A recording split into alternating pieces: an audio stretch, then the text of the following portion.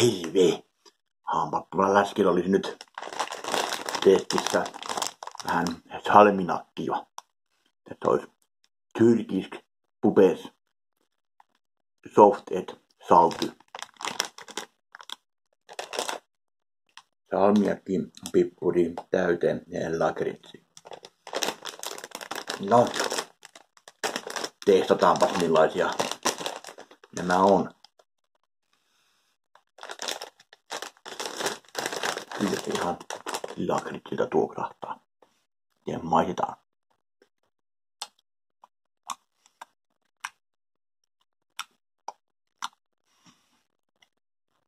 No, aika paljon saman makuisia kuin pikkusena tyttönä söi niitä noita pilluja, pill, pillejä, niin ne on vähän pehmosempia, niin helpompi syödä.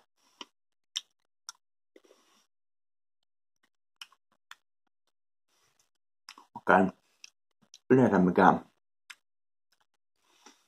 lakritsin ja salmianakin ystävä ole.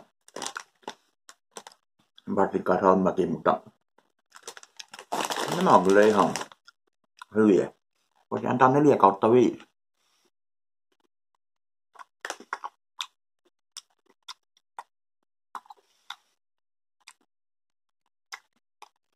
Ei ole yhtään liian ätäköitä.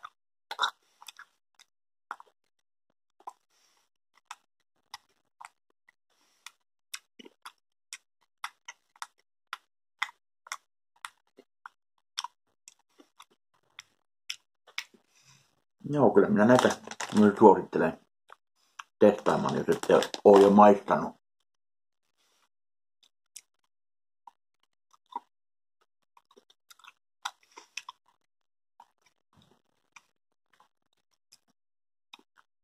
Noin.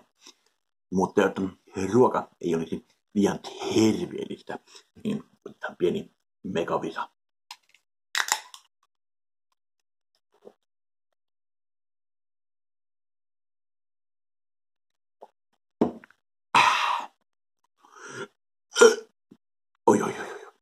Pidipäs höpö.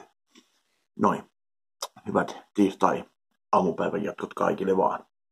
Se on morjes.